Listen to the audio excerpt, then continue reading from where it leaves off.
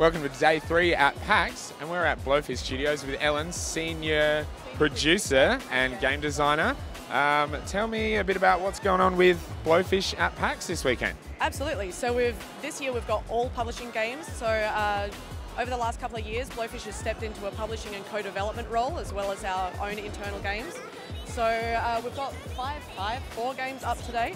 We've got Projection First Light, which is available now on the Apple Arcade. Um, that one is a game that we picked up a few years ago. Uh, it's a, a collaboration between three studios. Ours is one of them, and in addition to helping with the publishing, we also did additional set dressing and some programming support and porting support for that one. We also have um, the, the, three studios, I should probably say them, Shadow Play and Sweaty Chair, as well as Blowfish. yeah, Sweaty Chair. So, and they're all, um, we're all Sydney based as well. Okay. Uh, aside from that, we've got Obey Me by Error 404 game. Which I played the other day. It's really fun. It's a fun one. Uh, and that's an Argentinian game, um, an Argentinian studio, I should say. Um, and that one we're doing, again, uh, publishing and porting support for them. Um, then we have Kung Fu Kickball in the back. That's a one man studio called Whale Food Games. They're from New York. And that's a really fun, uh, like, I think of it as Smash Brothers, but with kind of soccer and Kung Fu. It's, it's super fun. And um, then we've got Infliction, which I'm also representing today.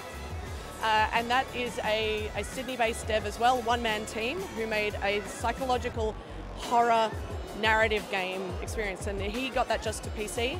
And so we've stepped in and supported him to be able to bring it across consoles. Um, he's also now working with us as well. Yeah. So, yeah. Very cool. I've actually, yeah, I played Obey Me the other day. I really wanted to play Element Space, but apparently it's not here. Uh, yeah, yeah. Um, but I have been playing uh, Projection First Light as well, so loads of fun games.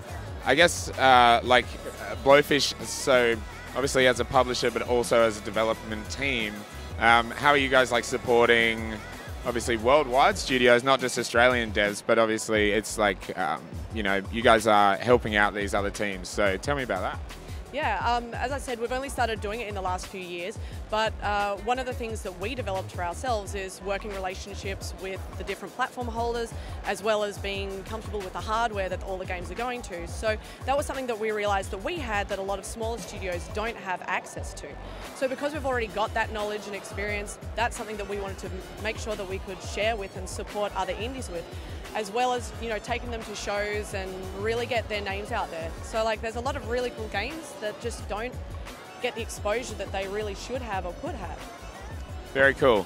One last thing, I think you guys developed uh, Stormboy. Yes. Yeah, I was the game director on that, so you're talking to the right person for that one. Well, interestingly, I actually grew up in that town where that's set, so like Stormboy was something, yeah, in Goolwa. Stormboy was something that we uh, like watched as children and stuff. So when I saw that it was a game, it was pretty amazing. So, how did you like it? Now I want. I actually personally haven't played it. I saw it in the App Store, okay. but how, how does the art look? Does it does it feel like home? Yeah, and it totally does. Like I, it blew me away that that's actually like a game as well. So well done. Thank you. Thank you so much.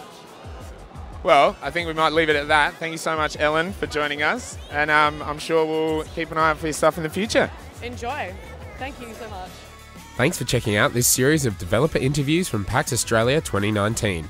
If you've enjoyed this video, be sure to check out our weekly podcast available on YouTube, Spotify, Apple Podcasts, and Podbean. Just search for Spawn Respawn. Don't forget to like, share, and subscribe to the channel, and follow us on Twitter at Spawn Respawn PC. Thanks a ton for watching. We'll see you again soon.